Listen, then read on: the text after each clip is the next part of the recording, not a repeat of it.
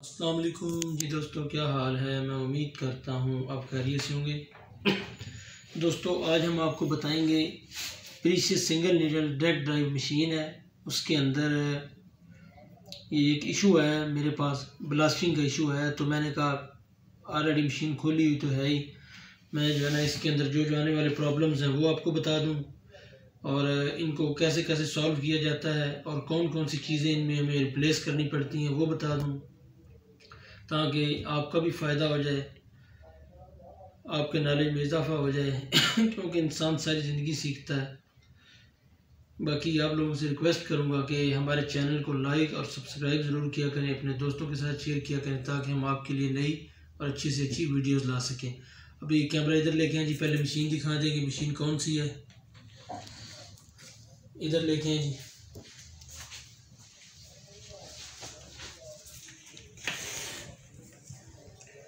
یہ ماڈل ہے جی اس کا نائن ڈبل زیرو ٹو بالکل برانڈ نیو مشین ہے یہ۔ ٹھیک ہو گیا۔ تو یہ دیکھیں جی ڈیک ڈرائیو ہے، اس کے اوپر یہ موٹر لگی ہوئی ہے۔ ٹھیک ہے۔ یہ، اور یہ اس کا کارڈ ہے جناب۔ جس میں یہ مسئلہ ہے۔ یہ دیکھیں جی، یہ اس کا کارڈ ہے۔ ٹھیک ہو گیا۔ یہ اس کا کارڈ ہے۔ میں نے اس کو آلریڈی کھولا ہوا ہے۔ ٹھیک ہو گیا جی۔ تو اس میں بھی جو آ رہا ہے وہ ایرر پندرہ آ رہا ہے۔ ایرر پندرہ، ایرر ففٹین کس وجہ سے آتا ہے؟ میں آپ کو وہ بتاؤں گا۔ ٹھیک ہو گیا، میں نے اپنے پاس ایک کارڈ ایکسٹرا بھی رکھا ہوا ہے۔ ٹھیک ہو گیا۔ یہ کارڈ آلریڈی بلاسٹ ہے، لیکن میں اس سے صرف آپ کو تھوڑی سی انفارمیشن دوں گا تاکہ آپ کے نالج میں اضافہ ہو جائے۔ دیکھ رہے ہیں آپ۔ یہ کارڈ ہے جی۔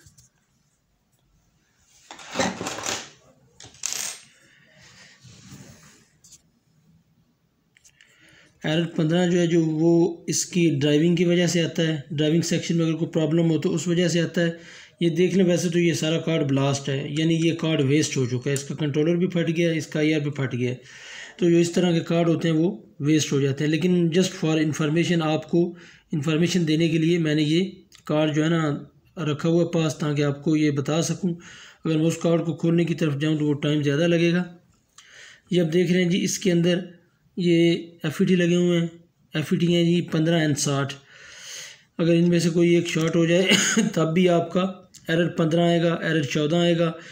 اور اس کے علاوہ اگر یہ آپ کی آئی آر جو ہے، آئی آپ کی آئی آر یہ شارٹ ہو جائے، تو تب بھی ایرر چودہ اور پندرہ دونوں آ سکتے ہیں۔ اگر یہ کمپلیٹ شارٹ ہو جائے، آپ نے سب سے پہلے جب اس کو سپلائی دینی ہے سپلائی دینے کے بعد آپ نے یہ چیک کرنا ہے، یہ ان تین کیپیسٹر پہ چودہ چودہ وولٹ آ رہے ہیں، چودہ یا پندرہ وولٹ آ رہے ہیں۔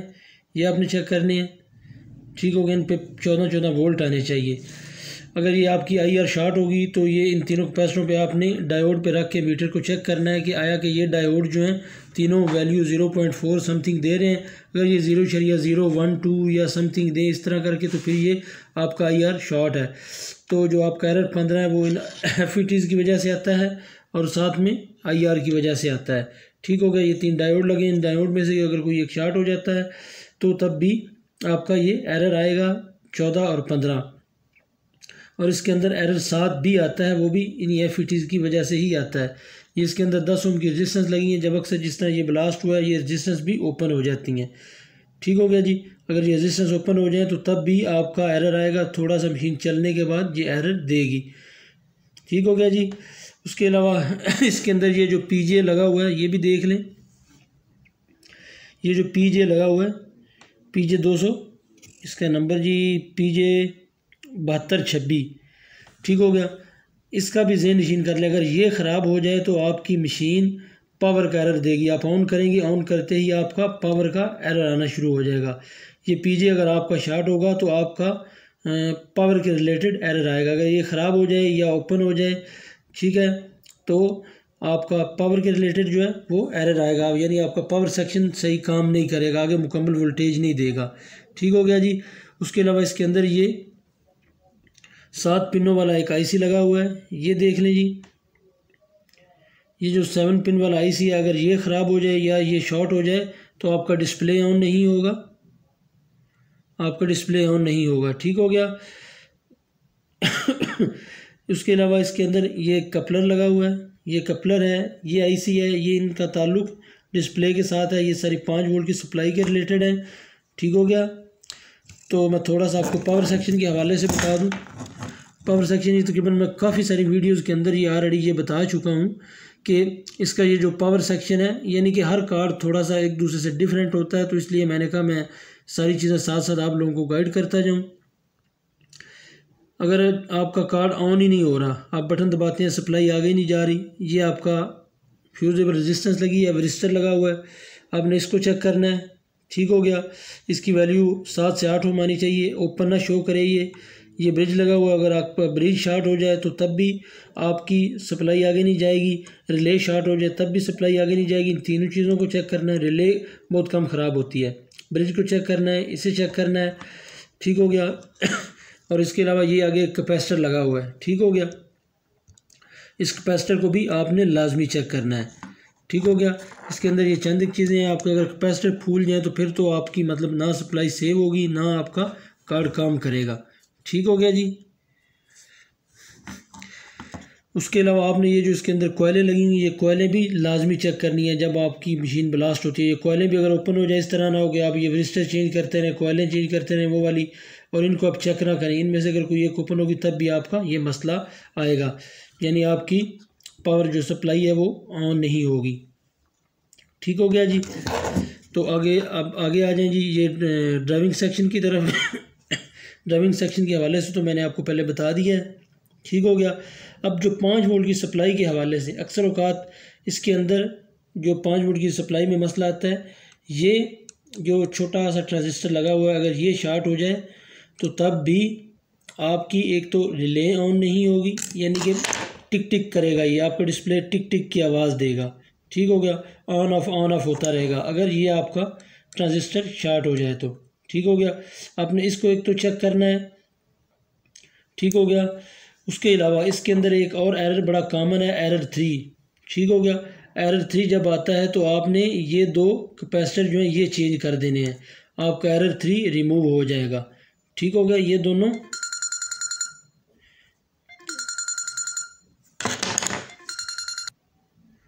اور اس کے اندر ایک چیز اور بھی ذہن نشین کر لیں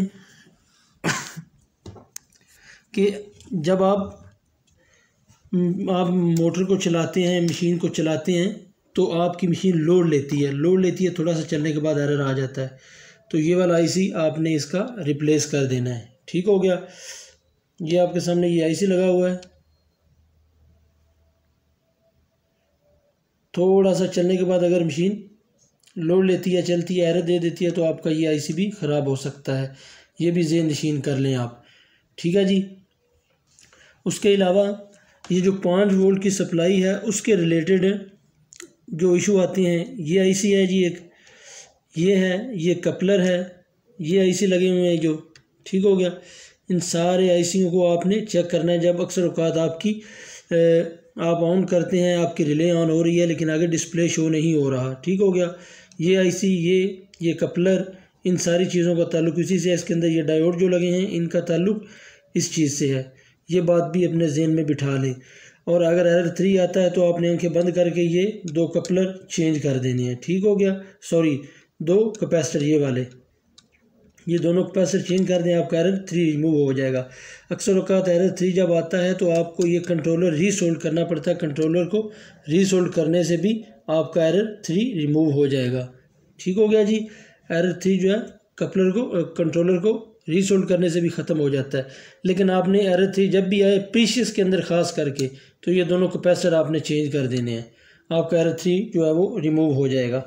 ٹھیک ہو گیا جی؟